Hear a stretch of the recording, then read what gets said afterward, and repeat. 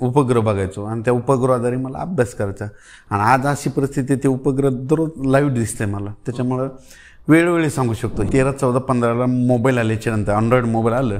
ते मोबाईल आल्याच्यानंतर व्हॉट्सअप आल्याच्यानंतर सगळ्यात आनंद मला झाला. कशामुळं? शेतकऱ्याचं नुकसान होऊ नये म्हणून रात्री दोनला तीनला उठायचं मेसेज टाईप करायचं टाकून द्यायचं आणि टाकल्याच्या नंतर तीन मिनिटाचं.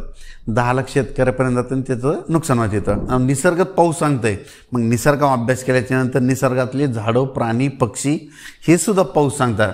असा अभ्यास केला आणि त्याद्वारे मी अभ्यास करत असतो. जे हवामानाचा अंदाज आपण जर व्यक्त करतो तो नेमकं कोणत्या बेसवर अवलंबून असतो आणि शेतकऱ्यांचा कशा प्रकारे तुम्हाला सुरुवातीला प्रतिसाद होता? हे जे मी अंदाज व्यक्त करत असतो तर तुम्हाला एक माहीत असून सांगतो एकोणीसशे शहाण्णवला. तर त्यावेळेस ते टी व्हीमध्येच उपग्रह दाखवायचं ते चित्र दाखवायचं. त्या चित्रानुसार मला अभ्यास होता. पण त्याच्या व्यतिरिक्त नंतर काय झालं? ज्यावेळेस अठ्ठ्याण्णवच्या नंतर कम्प्युटर आल्याच्यानंतर मग मी काय करायचो? उपग्रहायचं उपग्रह बघायचो. आणि त्या उपग्रहाद्वारे मला अभ्यास करायचा. आणि आज अशी परिस्थिती ते उपग्रह दररोज लाईव्ह दिसते मला. त्याच्यामुळं वेळोवेळी सांगू शकतो. हे करत असताना काय झालं? दोन हजार एकला सुद्धा मी पाऊस सांगत होतो. मग पण आमच्या भागापुरतं सांगायचं म्हणजे कशामुळं की म्हणजे त्यावेळेस काय झालं सोशल मीडिया नव्हता. आणि सोशल मीडिया नव्हतं नसल्यामुळं मी शेतकऱ्यापर्यंत पोहोचत नव्हतं. त्यावेळेस होतं प्रिंट मीडिया मग काय व्हायचं आमच्या परभणी जिल्ह्याची बातमी नगरकडे येत नव्हती इकडली बातमी तिकडे जात नव्हती. त्याच्यामुळं पोहोचलं नाही. पण योगायोगानं काय झालं दोन हजार तेरा चौदा पंधराला मोबाईल आल्याच्यानंतर अँड्रॉइड मोबाईल आलं. ते मोबाईल आल्याच्यानंतर व्हॉट्सअप आल्याच्यानंतर सगळ्यात आनंद मला झाला. कशामुळं? मला शेतकऱ्यापर्यंत पोहोचायचं होतं. मग काय केलं मी महाराष्ट्रातले छत्तीस जिल्ह्याचे छत्तीस ग्रुप तयार केले. आता माझ्या मोबाईलमध्ये साडेबाराशे ग्रुप आहेत. मी काय करत असतो आपल्या शेतकऱ्याला एक दिवसानं दहा दिवसानं एक महिन्याने एक वर्षानं पाऊस पडणार आहे आणि त्यांचं नुकसान होणार आहे हे मला घरी बसल्या बसल्या माहीत असतं. मग त्या ने शेतकऱ्याचं नुकसान होऊ नये म्हणून रात्री दोनला तीनला उठायचं मेसेज टाईप करायचं टाकून द्यायचं आणि टाकल्याच्या नंतर तीन मिनिटाचं.